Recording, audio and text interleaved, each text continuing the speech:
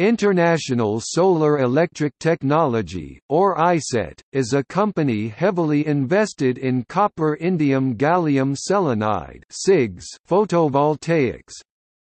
ISET's research, over two decades has been largely funded by grants from the National Renewable Energy Laboratory. Members helped found or worked in many of the more well-known CIGS companies, such as Nanosolar, Solopower, Showa, and Honda Soltec.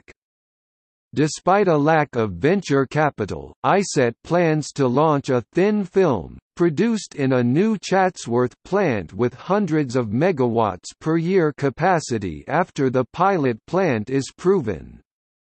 The company believes they will be able to at first achieve 10% efficient modules sold for 65 cents per watt, then 15% efficient for 50 cents per watt, and potentially ultimately as low as 40 cents per watt a tenth of current prices.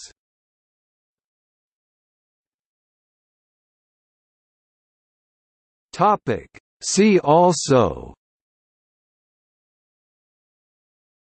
List of CIGS companies